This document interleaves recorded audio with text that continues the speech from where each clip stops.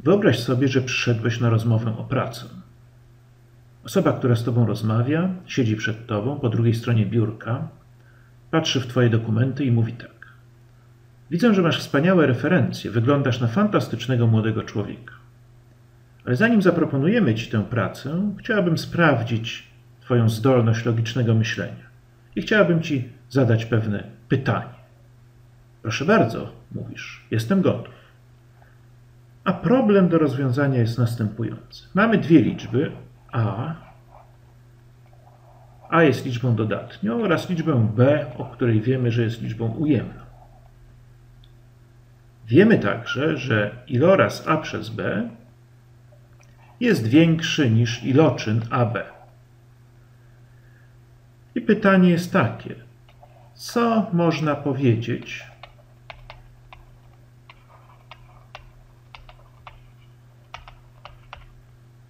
o a, b, a przez b i a razy b.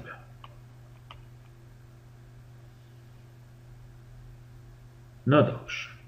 No więc co możemy powiedzieć na podstawie tych informacji o tych liczbach? Może zacznijmy od tego, prawda? Ponieważ a jest dodatnie, a b jest ujemne, to zarówno iloczyn, jak i iloraz są liczbami ujemnymi. No, jeżeli mnożymy liczby różnych znaków lub dzielimy liczby różnych znaków, wynik jest ujemny, czyli te dwie liczby to są liczby ujemne.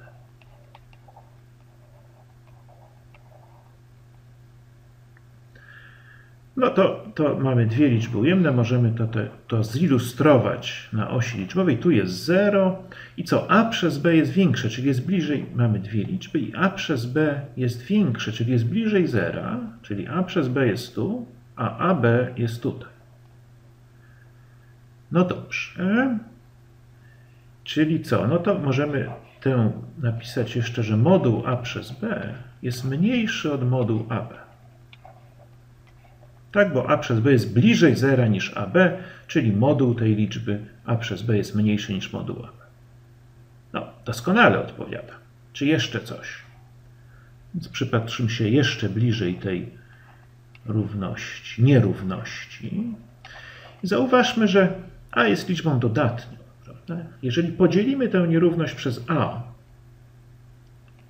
też pomnożymy przez 1 przez a, to a w ogóle nam zniknie z tej nierówności. No. Teraz a jest dodatnie, wolno nam mnożyć nierówności przez liczby dodatnie i znak nierówności zostaje zachowany, czyli ta nierówność, z tej nierówności otrzymujemy, że 1 przez b jest większy od b. Teraz widzimy, że Czyli a w ogóle zniknęło. Na odwrót, jeżeli mamy taką nierówność, możemy ją pomnożyć przez a dodatnie i otrzymamy tę nierówność. Czyli o a więcej informacji tutaj nie wyciągniemy z tej nierówności. Teraz możemy tę nierówność pomnożyć przez b.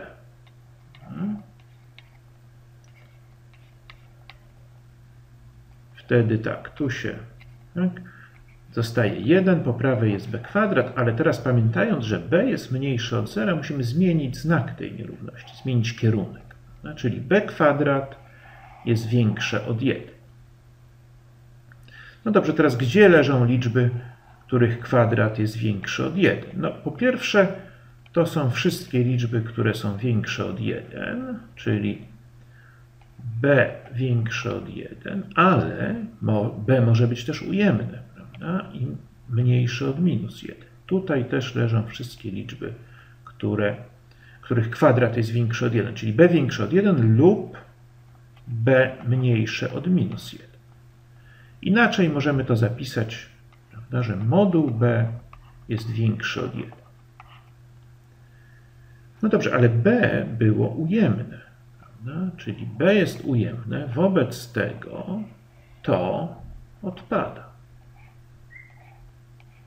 Czyli zostajemy tylko z nierównością b mniejsze od 1, czyli b jest mniejsze od minus 1. Dobrze, mówi ta osoba, wspaniale, wspaniale. Czy jeszcze coś? Czy można, czy możesz, prosi Ciebie, narysować liczbę minus a na tej osi? No, gdzie jest liczba minus a? Wiemy, że a jest liczbą dodatnią. Gdzie jest minus a? Otóż, jeżeli wiemy, że b moduł b, spójrzmy teraz na tę nierówność. Co możemy powiedzieć o moduł a przez b? To jest moduł a przez moduł b. Teraz moduł b jest większy od 1, czyli dzielimy liczbę, czyli to, ta liczba tutaj, moduł a przez b jest mniejsza, czyli dzielimy liczbę moduł a przez liczbę dodatnią większą od 1, to oczywiście otrzymujemy liczbę mniejszą od a. Czyli moduł a przez b jest mniejszy od a. Z kolei moduł a b to jest moduł a razy moduł b. Teraz, ponieważ moduł b jest większy od 1, to z kolei to jest większe od moduł a. Widzimy zatem, że liczba moduł a leży pomiędzy dwiema liczbami, mianowicie moduł a jest mniejsze od moduł ab, a większe od moduł a przez b. Spróbujmy narysować to na osi liczbowej, tę sytuację. Czyli tu mamy 0. Teraz moduł a, ponieważ a jest dodatnie, to to jest a. Czyli tu mamy liczbę a. Teraz narysuję może, żeby było widać. Teraz mniejsza od niej liczba a przez b jest tutaj, moduł a przez b. I większa od niej liczba moduł ab. Teraz, ponieważ a przez b jest ujemne, to, prawda, to to, to po przeciwnej stronie leży liczba a przez b. Teraz liczba a no, z kolei leży po przeciwnej, liczba minus a leży po przeciwnej stronie tutaj, minus a, i wreszcie liczba AB leży po przeciwnej stronie w tej samej odległości.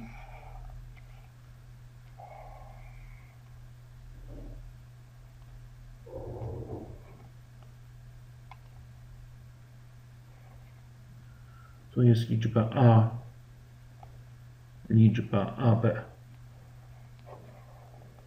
Czyli wracając do naszego rysunku pierwszego, liczbę minus a musimy prawda? Porównując te dwa rysunki, liczbę minus a na tym rysunku musimy narysować gdzieś tu. Tu jest liczba minus a. Wobec tego z tych naszych warunków wynika, że po pierwsze b jest mniejsze od minus 1, a jest dowolną liczbą dodatnią i liczby ab, minus a i a przez b umieszczone na osi liczbowej są w ten sposób. Osoba prowadząca z Tobą rozmowę jest zachwycona Twoim rozumowaniem, a Ty otrzymujesz tę atrakcyjną pracę.